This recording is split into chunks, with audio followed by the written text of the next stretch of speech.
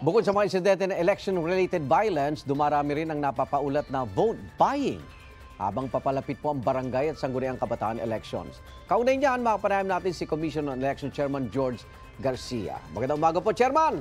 Magandang umaga, Igan. Magandang umaga po sa ating mga kababayan. Sa ngayon po, eh, ilan na yung nakukuha yung reklamo, impormasyon, sumbong tungkol po sa vote buying at vote selling, ha? Ilan na po yung kumpirmado? Kasi baka yung iba, alam niyo na, yung mga pakawala nung kalaban din nila, eh, di ba? Tama po kayo, Igan. Actually, sa kasalukuyan, mga mahigit ng isandaan ang ating kumpirmado na, in, na engage at involved sa vote buying. Kung kaya naman yung mga yan uma-undergo ngayon ng verification para ma-file sa ating pong, uh, ng ating pong task force bilang isang disqualification at the same time election offense. Subalit doon po sa mga na-file na Igan, na mga ng mga kasong uh, election offense at saka disqualification, minarapat po ng inyong Commission on Election na isuspinde ang proclamation ng mga involved sa premature campaigning, vote buying, illegal Okay. campaigning. Para naman hindi sila maproklama kaagad. Kala kasi nila, nagbibiro lang ang COMELEC, nagpapatumpik-tumpik lang kami. So hindi po namin ipoproklama yung may mga pending case sa amin. Ano ba parusa niyan? Ah, yung nag-abot ng pera, yung inabutan, o yung kandidatong sinasabi iboto dahil doon sa perang yun? Dalawang, una, igan, dalawang kaso po kasi ang haharapin nang nagbebenta at Okay. noong bumibili ng boto. Doon muna tayo sa bumibili ng boto, mga Oo. kandidato po yan. Oo. Pag ikaw kandidato, pe, pwede kang humarap sa kasong disqualification. Ibig sabihin, makakancel ang iyong candidacy at hindi ka makakatakbo. Okay. At the same time, pe, pwede ka rin humarap sa kasong kriminal. Isa Mhm. hanggang anim na taon na pagkakakulong po iyan. Diyan naman po sa mga nagbebenta ng boto, yung mga vote sellers na tinatawag, eh, isa hanggang alim na taon na pagkakakulong din po yan. Subalit, subalit, kung sila ay magsasalita at ibubulgar nila yung ah, irregularidad na yan, pwede po namin silang i-exclude sa Ah, punishment o sa, okay. sa, sa mismong prosecution. Pwede namin silang gawing state witness, ika nga. Ayun, eh, anim na taong pagkakulong pa lang yan. Ba't, ba't lagana po? Hindi nila alam yun? Alam niyo po kasi ah, dapat maintindihan ng ating mga kababayan, kaya po sila namimili ng ating boto dahil hindi po sila sikat, hindi po sila popular at hindi po sila napupusuan at saka nasa isip ninyo. Kaya binibili na lang and therefore, dapat po wag natin silang pagbibigyan. Tama nga po yung nabanggit ni Igan sa akin kanina eh. Oo. Titingnan natin sino ang naandyan nung panahon ng pandemya. Eh bakit naandyan ka lang kung kailan mag-election ng pandemya, nawawala ka? Ito pong insidente, Chairman, sa Barangay Longos, Malabon. Tukoy niyo na po ba kung kaninong kandidato galing yung pinamigay na sobre? Tukoy- Palusot yata, mga watch, watcher daw. Oo po oh. eh, watcher-watcheran Oo. kunyari. Sabi, watchers training, kumita na po yun ng mga Oo. nakaraang eleksyon. So hindi na po namin yun kinakagat. Alam nyo, ang sabi ng ating patakaran, basta naandyan yung mga daming tao, may mga sobre. Yung sobre, Igan, 1,213, lahat-lahat yon Nasa isang bag at pagkatapos, eh, tig 300 piso ang laman. Ba, O, 200 tao po yon kinupit pa yung dalawang daan, ha?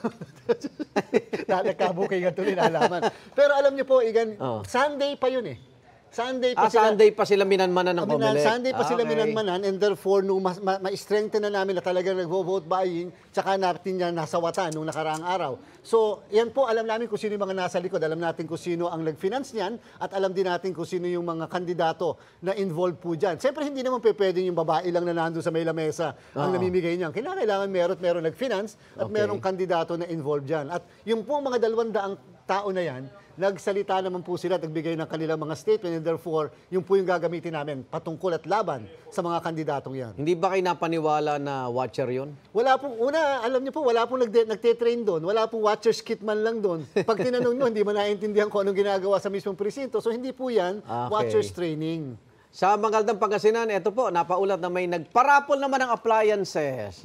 Bakit po may tuturing na vote buying din yan, Chairman? Ay, ay, alam niyo po, hindi po pinag-uusapan kung magkano ang halaga, ang presyo, at kung yan po ay uh, pera o kahit na goods or items lamang. Opo. In fact po, kahit uh, igan pangako lamang, yan po ay vote buying. Pinapangakuan mo na gagawin mo mga casual employees yan, yan po ay vote buying. So, yan pong pagpaparaffle, kahit pasabihin yung raffle, hindi ka magpaparaffle kung hindi ka kandidato eh. Therefore, kaya ka nagpaparaffle dahil kandidato ka. Bakit hindi nyo gawin ng raffle after the election? Hindi, hindi namin kayo pipigilan, wala pang kaso. Sa Hag na Bohol, Chairman, meron ding dalawang tumatakbong barangay ka- kagawad.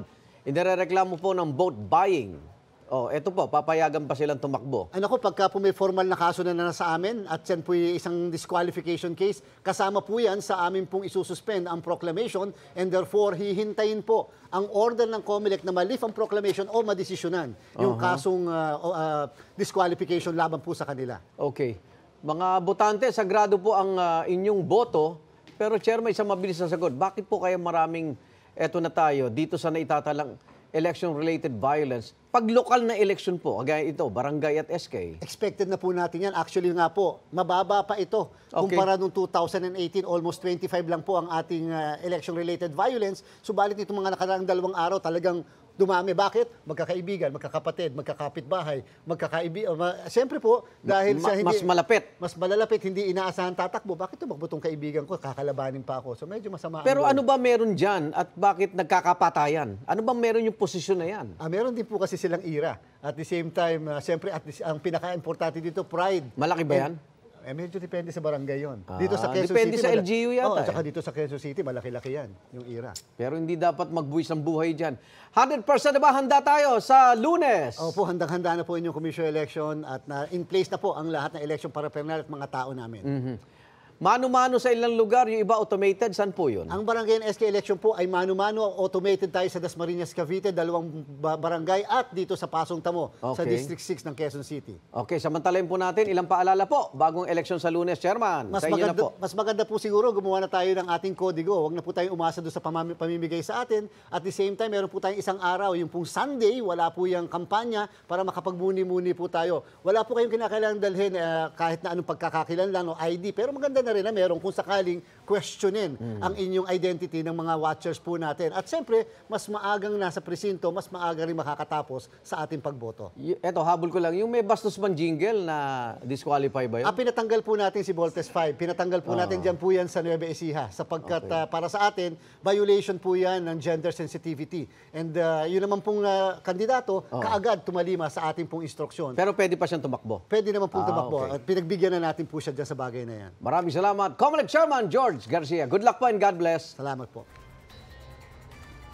Igan, mauna ka sa mga balita. Mag-subscribe sa GMA Integrated News sa YouTube. Sa mga kapuso abroad, subaybayan nyo kami sa GMA Pinoy TV at sa www.gmanews.tv.